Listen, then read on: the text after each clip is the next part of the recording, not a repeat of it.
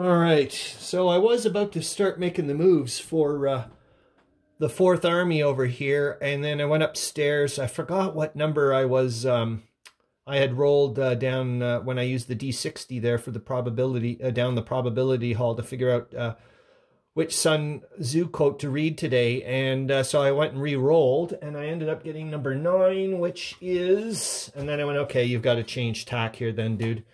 Um, it's there is no instance of a nation benefiting from from prolonged warfare and initially, like I said in one of my previous posts, I was going to start um, bringing the Fourth Army um, this way to try to protect the single track rail line and the double uh, track rail line uh, from Kielce to uh, Radom here.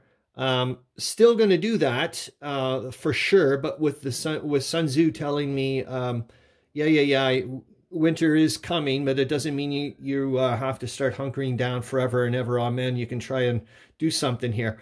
So, um, Salza and the Fourth Army here, uh, the HQ, are going to use and can't move. I wanted to move, but I'm going to probably uh, use some divisional breakdown here and pop them on over here. I would love to get them over to Kielce, but it's not going to happen.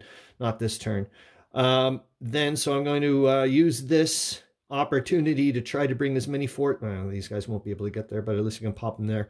Uh, bring as many forces as I can to this spot and try to nail this this mother right here, um, um, BG42, and try to get the Tarnow. Uh, obviously not going to get the Tarnow in one turn, but, uh, and yet again, going to be using, um,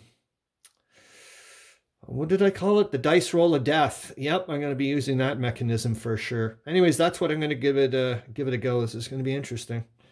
Look it up. Hope you're having a good one.